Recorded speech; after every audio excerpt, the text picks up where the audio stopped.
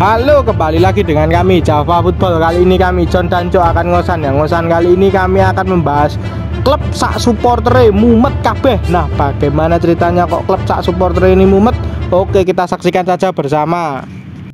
Nah, klub sak supporter ini adalah klub dari PSS Sleman dan supporternya itu Brigata Kurvasud. Nah, ini kedua-kedua ini podo-podo mumete. Ya.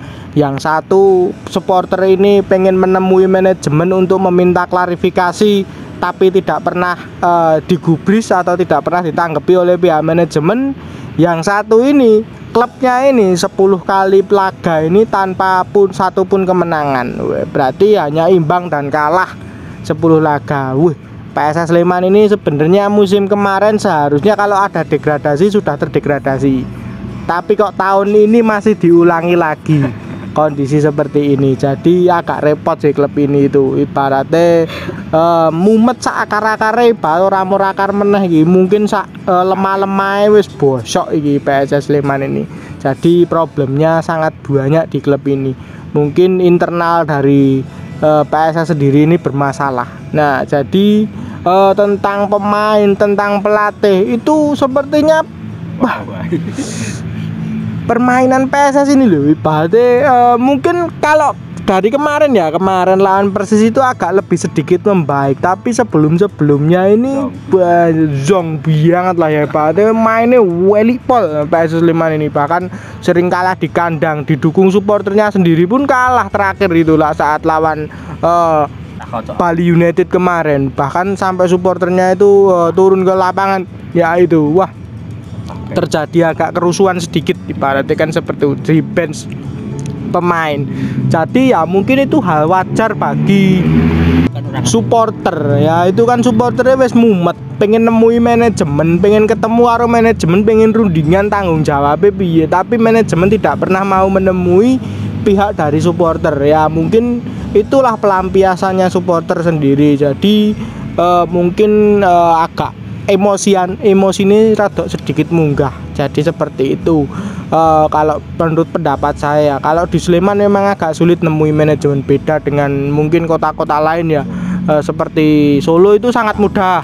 Uh, Semarang itu juga sangat mudah. Bahkan uh, Semarang nemui manajemen dong manajemen ngetok terus neng ipatin lapangan wong kuwi meduni lapangan dek ketemu neng bench ketemu yo yo wis nah jadi beda ya dengan Semarang dan Solo atau mungkin dengan Bali United. Bali United bahkan uh, supporter boykot beberapa laga pun manajemen langsung menemui pihak supporter untuk uh, berundingan lagi. Ini seperti bagaimana mencari jalan tengah. Lah kalau ini agak beda ini. Bahkan 10 laga supporter wis ngamuk, supporter wis turun ke lapangan bahkan dua kali tidak ada respon dari manajemen sedikit pun. Ini cukup mengenaskan ya bagi klub supporternya ini. Supportnya makanya BCS ini mumet sekali ini ya. Kalau PSS Sleman sendiri memang problemnya sangat banyak. Kalau saya pribadi lebih ke manajemen sih. Manajemennya ini terkesan diisi orang-orang lama ya. Wong-wongan lawas yang ibadah itu ngerti nih mau pemain-pemain ceng-ceng po ceng-ceng po ini ya. Jadi ya ya mungkin kalau saya pribadi banyak yang nggak layak untuk bermain di klub PSS Sleman ya kemarin ya. E, bahkan banyak pemain-pemain yang mungkin kelasnya itu mungkin kelas Liga 2 bukan kelas Liga 1 kalau yang layak kemarin saya pribadi menurut pendapat saya pribadi itu yang layak itu cuma Bustos. Mungkin itu.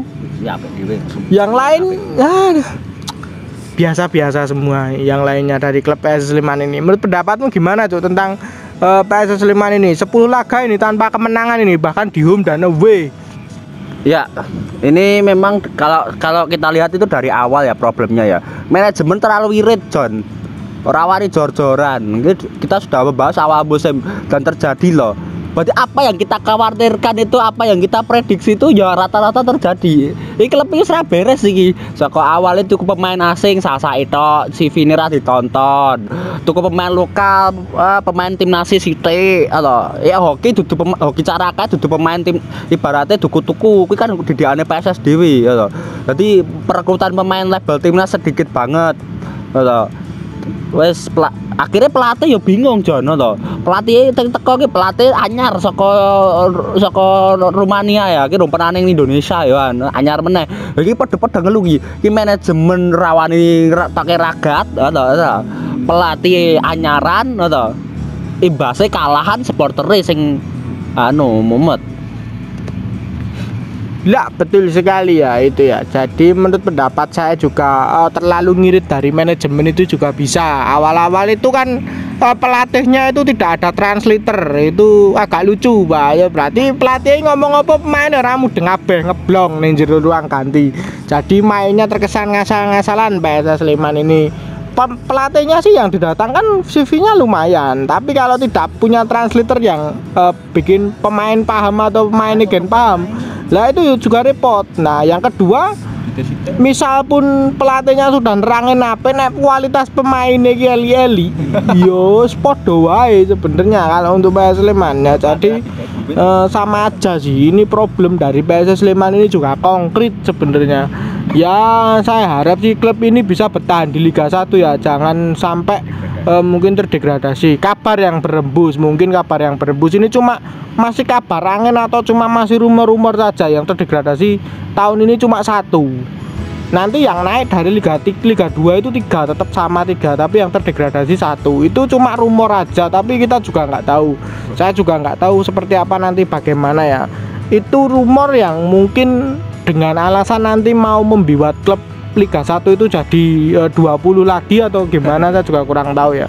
Nah, itu intinya pokoknya saya juga kurang tahu. Jadi untuk menghindari klub eh Nir Empati itu degradasi atau bagaimana kita juga kurang tahu.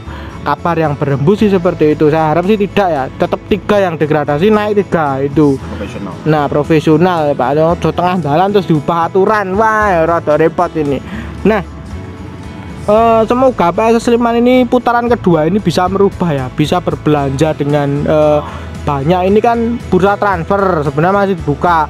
Jadi ya belilah pemain yang mungkin eh, berkualitas. Yeven kan sudah jelas pasti keluar ya ini ya. Kayak Sano juga dipinjamkan. Yeven kayak Sano itu kan pemain juga ya nggak patek-patek jelas. Itu kan juga sudah beda dua pemain asing ini eh, layak memang ditendang. Eh, kalau mau nendang pemain asing semua ya agak repot biayanya agak mahal. Yang layak kan cuman Bustos saja. Jadi kalau mungkin Teles itu ya mungkin masih mending-mending lah ya. Teles dan Jia Tayub mungkin agak masih mending-mending. Nah, yang dua ini memang layak diganti sih sebenarnya. Jadi untuk ujung tombak ya tandemnya nanti sama hoki. Ini striker harusnya cari PSS Sleman ini yang bagus. Oh, Jojo simik cah, wah ini simik ya podo jeblok meneh iki ya ngono. Wah, agak repot ini. Jangan simik intinya seperti itu ya. Nah, sebenarnya kalau di klub PSS Sleman ini nanti bisa musim depan ini masih bisa bertahan di Liga 1, barulah mungkin eh, supporternya ini akan bergejolak ya untuk menuntut manajemen. Tapi kalau untuk saat ini eh, mungkin target dari supporter ya realistis, tidak degradasi ke Liga 2 itu realistis banget ya. Ya mungkin hanya seperti itu saja. Jadi untuk eh, target 10 besar, 5 besar itu hanya ya bonus. Intinya seperti itu. Ya targetnya tetap lolos dari degradasi aja. Untuk tahun ini menurut pendapatmu gimana tuh tentang PSS Sleman tahun ini? Padahal dulu gebor-gebor ini PSS Sleman juga targetnya besar loh ini tinggi ini Ya kita memang agak pesimis dari awal ya John. Memang klub ini yang penting diingini ya ya 10 besar ampuh, penting ra degradasi. Karena memang dari belanja pemain aw, gampang lah John. Kita itu selalu membuat konten klub itu ketika eh, awal musim itu dilihat dari eh, materi pemain, materi pemain, materi pelatih. Nah, itu serah jelas kok dari awal John. Jadi ra degradasi wis ampuh gitu loh. Ya kita ha- berharap nanti ya tidak degradasi dan terjadi derby DIY di Liga 1 ke dep- tahun depan ya. Kita dukung penuh PSIM untuk lolos ke Liga 1, kita dukung penuh PSS Sleman untuk tidak degradasi. Jadi nanti gayeng lah, Jateng gayeng era. Jateng nanti ada derby Jateng, PSIS dan Persolo, DIY ada derby DIY, PSI, PSIM dan PSS Sleman di Liga 1 itu aja. Nah, betul sekali. Saya juga menunggu itu sih. Eh, kalau dari DIY kan ada dua, Jateng juga sudah ada dua. Saya harap sih ya ada masuk Jateng satu sih. Tapi sepertinya berat sekali nih klub Jateng naik lagi satu ini. Ya agak rumit lah. DIY realistis. Nah, kalau di Jateng, waduh, sulit. Musuhnya klub Jawa Timur pula, waduh. Bahkan klasemen saat ini dikuasai klub Jawa Timur, aduh. agak repot sih ini sebenarnya jadi saya tetap masih mendukung PSM naik ke Liga 1 nanti untuk nemani PSS Sleman ya yang mungkin masih berada di Liga 1 harusnya sih tetap masih ya ini segera evaluasi nih PSS Sleman ini. Eh, kalau dari saya pribadi memang itu ya dari kami. Jadi saya harap sih PSS Sleman bisa ya memperbaiki supporternya juga bisa introspeksi sendiri sendiri ya. Jadi ojo gampang emosi lah intinya sih Tapi seperti apa itu. sih? tapi yo agak repot ini orang gampang emosi wong kok di sini klubnya kayak yang ini nah mungkin itu saja perbincangan kita. Jangan lupa like comment dan subscribe